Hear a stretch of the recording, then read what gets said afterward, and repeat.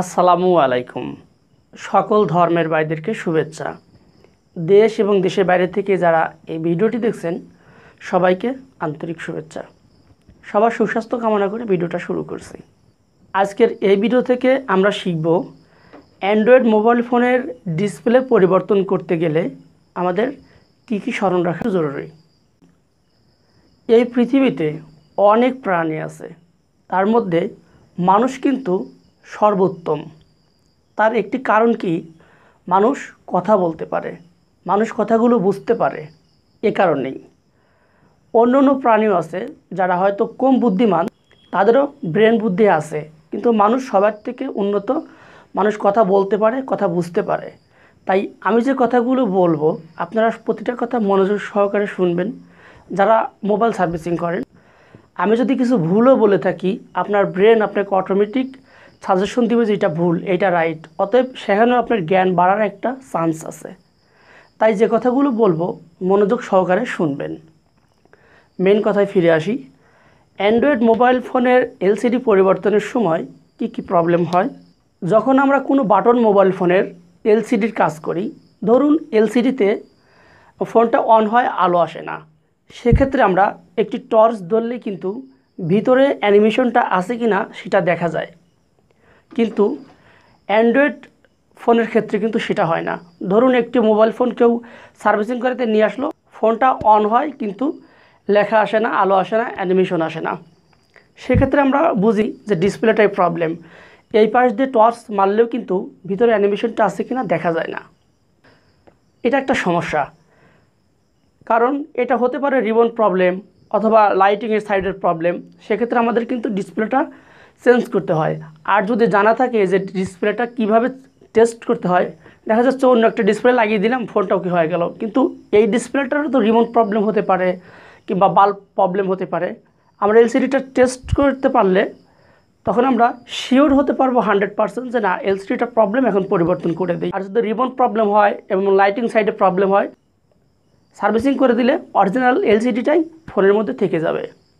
তাহলে টেস্ট করার উপায়টা কি? আমি আশা করি আপনাদেরকে মোটামুটি বোঝাতে পেরেছি। এই ফোনটার লাইটিং প্রবলেম হলে আমরা বুঝতে পারি যে ডিসপ্লে ঠিক আছে লাইটিং প্রবলেম কিন্তু অ্যান্ড্রয়েড মোবাইলের ক্ষেত্রে লাইটিং প্রবলেম হলে আমরা মনে করি ডিসপ্লেটাই প্রবলেম এই অ্যান্ড্রয়েড ফোনের ডিসপ্লে কীভাবে টেস্ট করবেন যে ভালো আছে কি না? আমি কাজ করি, কাজের মাঝে আপনাদেরকে বোঝানোর চেষ্টা করব। এই ফোনটির প্রবলেম ফোনটি পানিতে পড়ার পর এখন ফোনটি অন আছে, কিন্তু ফোনে আলো আসে না। এই ফোনটি যার, উনি অন্য কোথাও এই মোবাইলটা দেখাইছে, সেখান থেকে বলছে যে ডিসপ্লে খারাপ। নতুন একটা ডিসপ্লে লাগানোর পরেও সেটা একই অবস্থায়। তখন বলছে যে, মাদারবোর্ড খারাপ। এই অবস্থাতে ফোনটি আমার কাছে নিয়ে আসছে। আমি এটা টেস্ট করে দেখেছি। এলসিডির মধ্যে অ্যানিমেশনটা আছে, কিন্তু আলো নেই। তখন ভাবলাম যে এই ভিডিওটা দিলে অবশ্যই আপনাদের উপকার হবে। সেই থেকেই এই ভিডিওটি তৈরি করা। ফোনটি অন করেছি। অন হয়েছে, কিন্তু এই অবস্থা। ডিসপ্লে টেস্ট করলাম কীভাবে? দেখুন এইখানে যে স্টিকারটা আছে, এই স্টিকারটা আপনাকে উঠিয়ে ফেলতে হবে।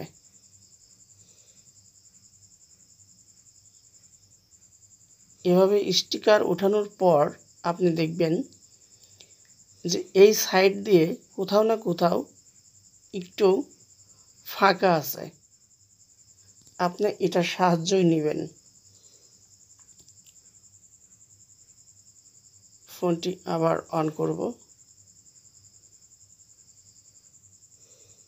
এবং একটি লাইট প্রয়োজন হবে। এটা জ্বালানোর পর যখন ফোনটি অন করবেন, লাইটিং প্রবলেম হলেও কোনো সমস্যা নেই। এলসিডিটা যদি ভালো থাকে, ডিসপ্লেটা যদি ভালো থাকে, তাহলে অ্যানিমেশনটা দেখা যাবে। আর ডিসপ্লেটা যদি নষ্ট থাকে, তাহলে ফোন অফ অবস্থাতেও যেমন থাকবে, ফোনটি মাদারবোর্ড অন করার পরেও তেমন কালো থাকবে। আর এলসিডি যদি ভালো থাকে, শুধু লাইটিং প্রবলেম থাকে, সেক্ষেত্রে আপনি অ্যানিমেশনটা দেখতে পাবেন। দেখুন, ওইখান থেকে একটু আলোর ঝলকানি আসছে। আমি প্রথম থেকে অন করে দেখাই যে অ্যান্ড্রয়েড লেখাটা দেখা যায়।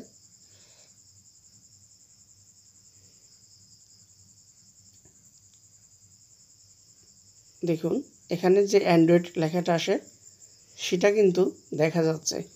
এই এলসিডিটা যদি নষ্ট হতো, তাহলে ওই পাশ থেকে আলো মারলে এটা একদম কালোই দেখা যেত। এরকম আপনার অ্যান্ড্রয়েড লেখাটা আসতো না। এটাই হলো এলসিডি টেস্ট করার সিস্টেম এলসিডি নষ্ট হলে সেম এমন হয়ে থাকতো। নিচে কিন্তু লাইট মারাই আছে। তারপরেও নেই। এখন পাওয়ারের চাপ দিলাম, অর্থাৎ অ্যানিমেশন আসলো বিদায়, এখানটা লাল হলো। আবার যখন পাওয়ারের সুইচ চাপ দিয়ে অ্যানিমেশন আউট করে দিলাম, দেখুন এখানে কালো হয়ে গেছে। এভাবে আপনারা খুব সহজে ডিসপ্লেটা টেস্ট করে, লাইটিংয়ের কাজ করে সেটটি ডেলিভারি দিতে পারবেন। নতুন ডিসপ্লে লাগানোর পরেও আলো আসেনি। মাদারবোর্ডের লাইটিং কানেকশন পুরা। এজন্য দুইটা ডিসপ্লেতে একই অবস্থা। সবাই ভালো থাকবেন। আল্লাহ হাফেজ।